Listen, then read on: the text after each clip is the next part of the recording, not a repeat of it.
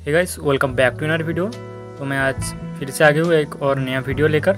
तो मैं आज एम एस धोनी सर की इस फ़ोटो को ऑयल पेस्टल पोलो की कलर से आज ड्रॉ करना सिखाऊँगा। तो जैसे कि आप लोग रेफरेंस फ़ोटो को देख रहे हो सेम टू सेम वही ड्राइंग पेज पर अप्लाई करूँगा। तो देखो मैं किस तरफ़ से कर रही हूँ।